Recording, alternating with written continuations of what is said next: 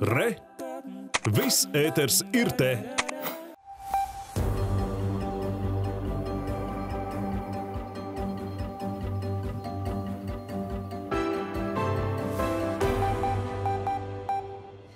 Labrīt! Šobrīd debesīs ir daļais mākoņu daudzums, bet rīts ir visai silts. Gaisa temperatūra ir plus 15, plus 20 grādu robežās un pūš lēns vējš, bet austrumos joprojām ir novērojams pāris zibens izlādes, kā arī tur vietām līst.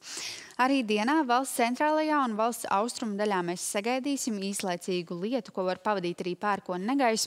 Un diena salīdzinājumā ar aizvadītajām dienām šodien nedaudz vēsāk, jo gaisa temperatūra valsts lielākajā daļā būs 22, 27 grādu robežās, un tikai dažviet gaisa temperatūra sasniegs 28 un 30 grādus. Arī Rīgā tātad naktī ir uzlījis un arī nodārdējis pērkons, bet diena būs lielākoties sausa bez būtiskiem nokrišņiem.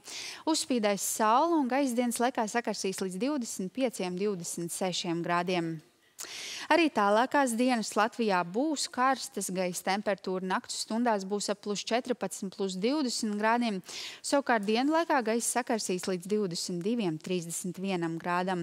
Un, lai arī kopumā laiks būs lielākoties sauss, tomēr vietām izveidosies pa kādam lietus un negaisa mākonim, kas lokāli atnesīs nokrišņus.